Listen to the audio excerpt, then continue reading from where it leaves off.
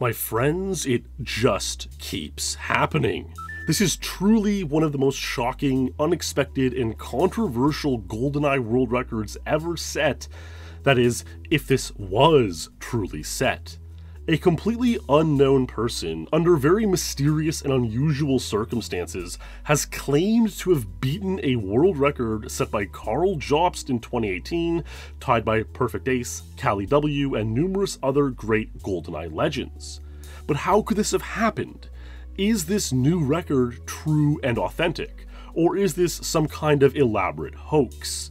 It's just beyond cooked and beyond kooky and quite frankly, no one really knows what to make of this.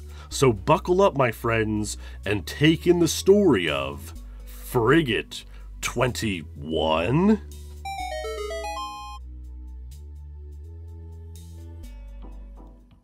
So, today's story is about the series of unusual consequences that followed someone anonymously posting a speedrun video to the GoldenEye speedrun community. And if you want to pull off something similar to the protagonist of this story, you would need to remain completely anonymous online with the help of NordVPN and you can get a big discount on NordVPN with my link, nordvpn.com slash staytrue, in the description.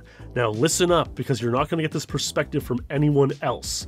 Want to post on old message boards and forums while remaining anonymous? Well, bad news, pals, because older style web forums generally will log your IP where the admins can directly see it. I mean, pretty much all websites do this, but in a small online community, you might know the admin and they might know you. If I wanted to, say, make a new persona of an Irish lad named Sean O'Brien and interact with a community, well, I would need to connect to an Irish IP before logging in and posting. NordVPN makes that easy. Now, let's say I go into a fellow community member's Twitch channel and they have one of these pesky viewer geolocation trackers on. Well, if I show up without protection, I'm toast. However, with NordVPN, I can continue the ruse that I'm actually Sean O'Brien. Why might this be useful? Well, I'll let you decide that, and we might find out in today's story. But if you need anonymity online, you need NordVPN. And great news, my friends, I have my very own link where you'll get a big discount. NordVPN.com slash staytrue and get extra subscription time. Try it risk-free now with a 30-day money-back guarantee. Of course, I don't need to tell you that cyber attacks are on the rise big time. You want as much protection as you can get online. Just another reason to get NordVPN's useful tools, the NordPass Password Manager, which stores and keeps your passwords even when you're offline, and the Data Breach Scanner, which scans the web and informs you if your sensitive information has been exposed in a data breach. So, get NordVPN with my link below big discount, extra subscription time, and go wild with your ARGs, artistic plans, and strange dreams interacting with various communities online, safely and anonymously. Rebecca Smiths is the name of a YouTube account and GoldenEye Elite Speedrun Rankings profile page who posted a video of Frigate Agent 21.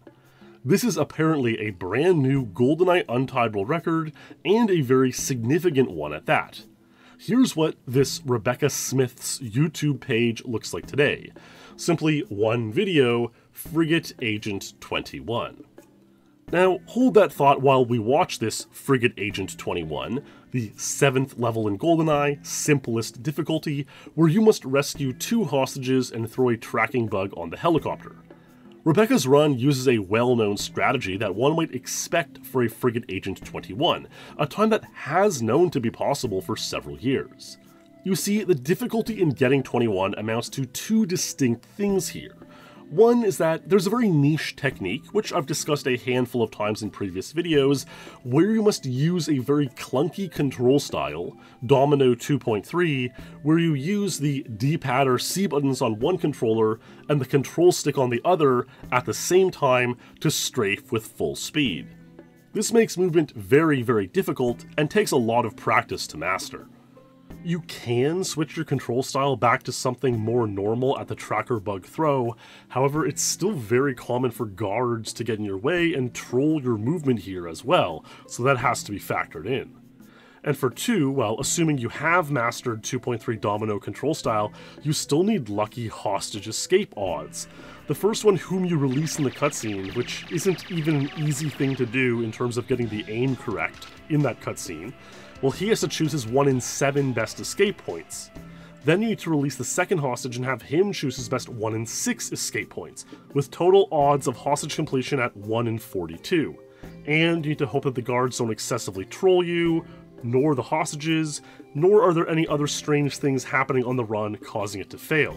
So the odds of getting completion here are really 1 in several hundred attempts. Now, that all being said, Rebecca's run does appear legit at a cursory glance.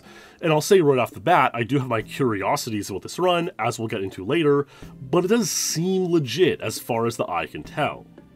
21 has known to be possible for a long time, so this isn't a run that goes beyond general expectations or capabilities for the game. For example, take White Ted, who was the first person to successfully use the 2.3 control style on a world record run when he tied the 22 second world record of Carl Jobst back in August 2020. Well, White Ted on more than one occasion played a run of Frigate Agent in 21 seconds, getting the rare hostages to escape in that speed, but missing the bug throw, thus failing the mission, costing him the untied world record. White Ted could have been said to be on the cusp of the new record, 21, and everyone in the community knew that 21 was viable for those willing to master the 2.3 control style, while hopefully not choking too many bug throws. So when this Frigate 21 of Rebecca Smiths was posted, it was not the record itself which was unbelievable and shocking, but rather the context in which it was allegedly set, which stunned onlookers and has shaken the community to its core. So let's take a look at that context, some emerging theories, and other thoughts about this speedrun in a handful of points to further examine the matter. Number one is pre-existing credibility. When Frigate Agent 23 was set by Wouter Jansen in 2005, well, this was a fellow who had been in the community for many years, set hundreds of records, most of which had readily accessible video proof, which was no easy feat at that time in internet history, Wouter documented his grind for 23 immensely, updating the community regularly on his progress, sharing videos of duplicated 24s and failed 23s. So when he finally completed Frigate Agent 23, it was stunning and amazing because the record itself was a remarkable achievement, but not because of who achieved it. Everyone knew if someone was going to get that time, it was likely going to be Wouter, a champion of the game. When Frigate Agent 22 was set by Carl Jobst in 2018, once again, everyone knew Carl was an established speedrunner for decades by that point. Carl was live streaming his attempts, making it very clear to any onlooker just how regularly he was pacing 22 seconds. He was tracking towards the time and grinding out his sessions, and while Carl did complete the 22 after only a few hours of play, much sooner than even he expected, it was still not shocking to anyone that it was Carl who ended up getting the time. However, with this Frigate Agent 21 by Rebecca Smiths, well, no one knows this Rebecca Smiths. No one has heard of this person in the community. They've never interacted, shared videos, live streamed, and of course, none of that is necessary, and it is understandable in a way that someone might want to remain more or less anonymous on the internet in this day and age. I get it. There's no rule stating that you need to interact with the community and live stream and so on in order to have your runs counted. But it is still fair to take a step back, look at the overarching situation, and understand that Rebecca lacks this pre existing credibility and any other career speedrunning context and so some raise suspicions about this Frigate 21. And I think even Rebecca would understand and agree why this is the case. My second thought is just entertaining the possibility that this could be an elaborate troll or a hoax, and if so, by whom and for what purpose. Of course, much elaborate trolling on the internet is just done for the sake of it, so that might not even need an answer. It might just have been done as an experiment for the laughs, but someone could also have faked this run to spite the GoldenEye speedrunning community in one way or another. Making a fake profile or an alt account as a means to achieving some end goal is not uncommon behavior on the internet. So could someone who had a disagreement with the community, or someone who might even have been banned before, have achieved or faked this run simply to rustle up some feathers and cause controversy? or even Rebecca Smiths could be an alter ego of an established speedrunner just doing it for the lols. Third, we must talk about some irregularities with the run itself. For one, the video quality features a lot of interlacing, which is generally discouraged and considered bad form in proof videos. While this doesn't inherently prove or indicate anything nefarious, lower quality video does make it easier for fake or spliced runs to get through, since if the whole run has inconsistencies, it's harder to pick up a single inconsistency that determines a run's inauthenticity. That being said, the interlacing isn't too bad, and there's nothing outwardly odd or offensive about this run. That is, aside from Rebecca apparently skipping most of the ending cutscene. Now once again, this is not inherently a tell that the run is fake, but it is certainly odd. Because of Frigate's nature, needing to play out thousands of runs to get a single completion at a fast speed, the Frigate ending cutscene appearing is one of the most joyous moments for any GoldenEye speedrunner. So we usually let it play out, in excitement, giving just the tiniest bit of slow roll before revealing our time.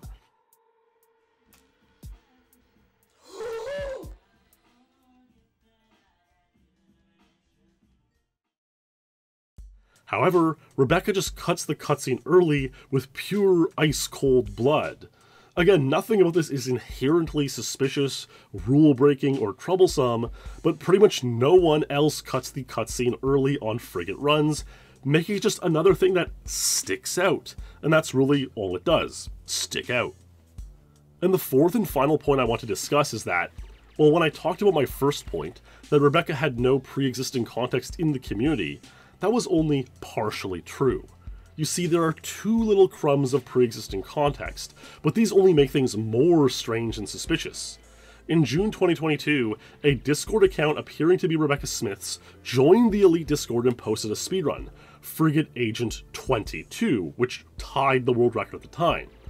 This was this Rebecca Smith's only post in the Elite Discord or Elite community as a whole to this point. The Discord account posted this and joined the Elite Discord on the same day the account was created. That's sort of signature throwaway account behavior. Now consider this further. When Rebecca announced the Frigate 21, it was done in the exact same way, on a brand new Discord account, which was created and joined the Elite Discord on the same day it shared the video. Why not just use the previous account? That's just very, very strange. Well, speaking of that, note this the Frigate Agent 22 is on a different YouTube channel, albeit one also titled Rebecca Smiths, as the Frigate Agent 21. Once again, why not just use the same account? What's with all the throwaways? And here's something even further.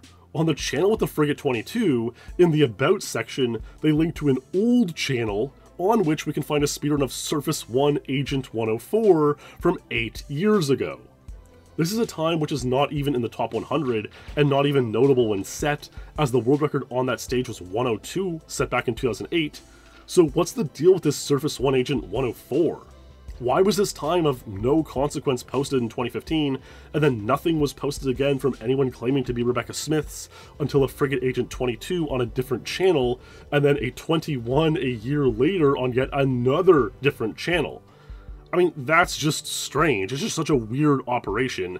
It's almost exactly what you would do if you were setting up a fake persona or profile to sort of establish an existence years ago, but then get lazy about it, for it to upload similarly beginner tier runs like Surface 1 104, and then just come along a few years later with some suspicious runs. So all that being said, here's how the story played out from there.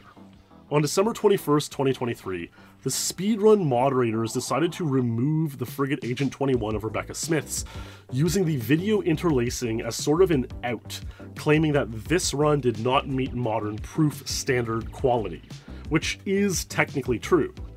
And you know, some people thought that the run should stay up, but given the suspicions surrounding Rebecca Smiths, I think this was a fair thing to do. However, two days later, something even more shocking took place when Rebecca Smiths posted yet another Frigate Agent 21, duplicating the speedrun, this time in good quality. We can tell this is a completely different speedrun because on the first 21, Rebecca gets boosted after the bug throw, whereas this does not happen on the second 21. Now, while this is remarkable and stunning, it's pretty shocking that Rebecca was able to complete two Frigate 21s in such close succession. You know, almost too shocking or even elevating the suspicion level a little bit. To compare, in both the cases of Wouter Jansen's Frigate 23 and Carl Jobst's Frigate 22, when those were set, it took roughly two years for anyone to tie the record. Thus, world record speed frigate completions are generally considered pretty rare. Yet here, Rebecca purportedly got two in roughly one week. This further suspicion sent some of the moderators and community members into deep detective work, trying to get to the bottom of the Rebecca Smiths saga. The mods asked Rebecca Smiths for more proof, including playing some frigate with at least the controllers and a television visible, to demonstrate some real-life ability in playing this complicated stage. On December 24th, a 7 minute video was provided to the mods, which looked like this, and thus it was passed around various corners of the community who examined it closely. And while this did seem to illustrate that Rebecca Smiths did have frigate ability on par of what would be needed for Frigate 21, some other elements in the video caused things to begin to unravel. You see, years ago, a meeting took place between then top 10 GoldenEye speedrunner and future champion of the game, Luke Sklarz, and another up-and-coming speedrunner who went by Mirror Mage. They had a typical gamer meetup, playing some multiplayer, doing some speedruns, and having a good time, so Luke became somewhat familiar with Mirror Mage's television. When Luke saw the session footage of purported Rebecca Smiths, he noticed this green bug on the CRT television, something he recalled being permanently present on Mirror Mage's TV all those years ago. Other moderators and community members examining the footage drew comparisons to other live streams of Mirror Mage from the past, suggesting similarities in ways that the controller was being tapped or held between runs. It was also noted that day, and here's the real kicker, that Mirror Mage and Rebecca Smiths logged onto the GoldenEye rankings from the same IP address that day. The forum admin were able to notice this. Mirror forgot to use NordVPN. Oh dear. Mirror Mage is a pretty long-time speedrunner of GoldenEye, having set substantial records in the past, including the original Depot Agent 23, so it was somewhat shocking to learn that he might be the one behind the Rebecca Smiths alias. And with that, the gig was pretty much up. There was no getting around this. The moderators prodded for more, asking for a session video which included facecam, promising not to release it publicly if this were a truly legitimate Rebecca Smiths, but knowing this would be pretty much an impossible task from both ends, Rebecca Smiths finally gave it up. Though, not without one final blaze of glory, uploading a tied world record, Surface 2 Agent 46 by Mirror Mage to the most recent Rebecca Smiths YouTube channel, thus pretty much giving hard confirmation that indeed, Mirror Mage was Rebecca Smiths. The reaction to this revelation was pretty mixed, leaning on negative. Some onlookers enjoyed the scene, found the whole situation to be a funny and silly troll incident, you know, having a good laugh here and there about it. However, there was a lot of backlash, with some even calling for permanent ban from the GoldenEye rankings, and others proclaiming that trust has simply been broken in the community. And especially on Frigate, a level where one needs to trust the speedrunner, it's just a step too far to believe anymore. As for why Mirror Mage did it, there's still been no revelation of any motive, other than just perhaps having a laugh online. And in a way, I do understand that motive. You know, after all, it's kind of what got me started making videos here. Just something to occupy one's time on the internet and have a bit of fun. And I mean, many of the world's greatest achievements have been things done out of simple boredom, whether it's climbing a mountain or making a masterful artwork. And of course, the Rebecca Smiths Frigate 21 incident is not something I will directly compare to climbing Mount Everest or painting the Mona Lisa, But who's to say that this whole thing wasn't an artistic undertaking to begin with? Kind of performance art, blending speedrunning with a social experiment and a little prank, setting some untied world records, all the while, and seeing where the chips lie. There is a point in the proof policy of the GoldenEye rankings which reads, any prank runs that have no intention of being legitimate, such as April Fools, must be cleared with a moderator prior to posting and claimed by the player as a joke upon first inquiry. Now, while this doesn't exactly describe the Rebecca Smiths situation, because perhaps Mirror did want the 21 to be ranked legitimately, the prank part was not that the run was fake, but that the user was fake. Despite all this, Mirror Mage would go on to write up a post detailing his journey to Frigate 21, and did acknowledge that he broke the prank runs must be clear with a moderator prior to posting part of the proof policy, ready to accept any punishment that may be doled out for these actions. However, it remains unclear what will happen next. Mirror does claim that his Frigate Agent 21s are legitimate, but many find it too hard to believe to officially rank them, in light of the whole Rebecca Smiths deception. At the end of the day, I do think this whole endeavor was silly and unnecessary overall, and it being done during the Christmas break was in poor taste, you know, because this threw a wrench into the moderator's plans, having them have to look into this during the Christmas break. So I do not condone the overall arch of the story. But that being said, I do think it was generally some mostly harmless fun. Mirror Mage did reveal the hoax after about a week, giving it just enough play in the community without stringing people along for too long, and it's just yet one more fascinating chapter of a strange and unusual history in the GoldenEye Elite community, which is ultimately what makes it such a remarkable and charming corner of the internet. We may never fully know or understand why Mirror Mage did what he did, but there, my friends, is the new lore, the true story of Rebecca Smiths, and the anonymously posted speedruns that wreaked havoc on the community for a whole week. Let me know your thoughts about this situation. Does Rebecca deserve a permanent ban from speedrunning GoldenEye? Or is this something we should just step back from, look back, and laugh at in a few years' time? I'll love to see and read what you all think about it. In the meantime, my friends, thanks for watching, stay true, and I'll see you in the next stream or video. Happy New Year!